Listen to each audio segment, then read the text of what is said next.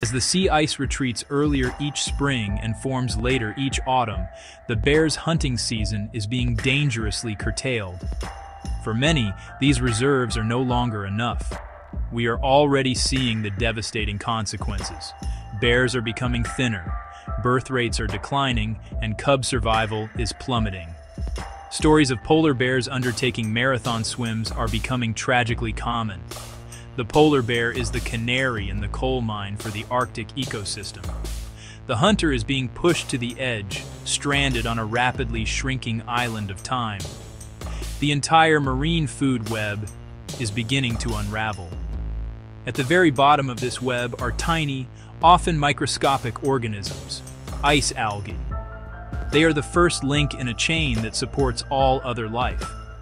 As the sea ice disappears, so does this critical habitat. This disruption cascades upwards with devastating consequences. Seals, such as the ringed seal, rely on both the sea ice for resting and pupping, and on the abundance of Arctic cod for food.